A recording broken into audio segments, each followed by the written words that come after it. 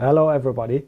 Welcome back to our new upgraded series on videos for the One Identity Safeguard product. In this series, we're going to cover the latest features of the versions 2.2 to 2.5 we have recently added to the product. It is planned that Safeguard will get a major upgrade expected to be around the June timeframe this year. But at this time, when the product is available, we're going to create a brand new series and then we're going to talk on all the features that will be available then in much more detail as we are doing now. Okay, let's start.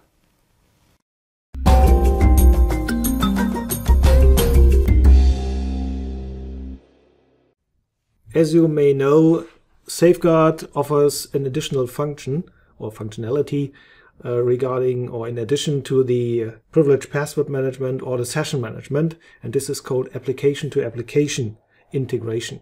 This is mainly used to remove hard-coded passwords in scripts or enable applications to interact on a programmatic level to the safeguard system to request accesses or to request passwords and to process them in an application automatically.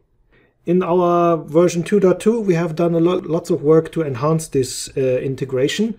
So if you want to configure this, go to the settings menu and select the application to application topic under the external integration.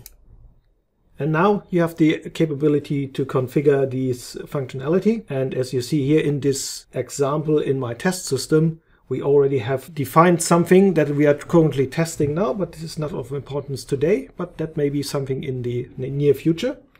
So if you want to enable something like an application to talk to the safeguard system, and you want to configure this or just configure the support for this, just click on the plus, just give it a name, give it a description if you want.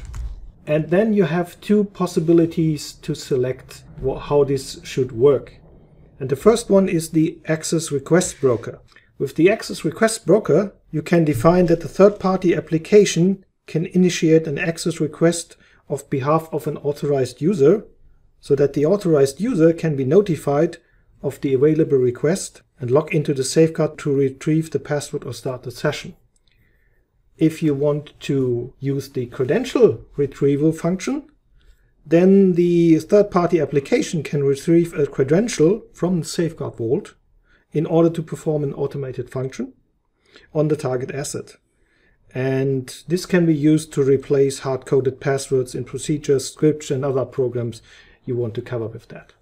So in this case, just if you want to click on the access request broker, you have to provide a user that should be used for that function.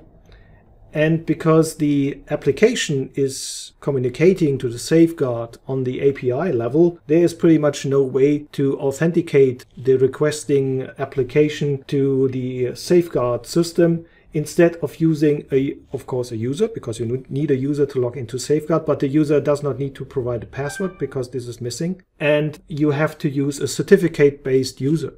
So in this case if you don't have any certificate user you should of course have them somehow defined in the system here under your user tab and your user management tab in safeguard. So this one we're using for the different integration I showed you earlier.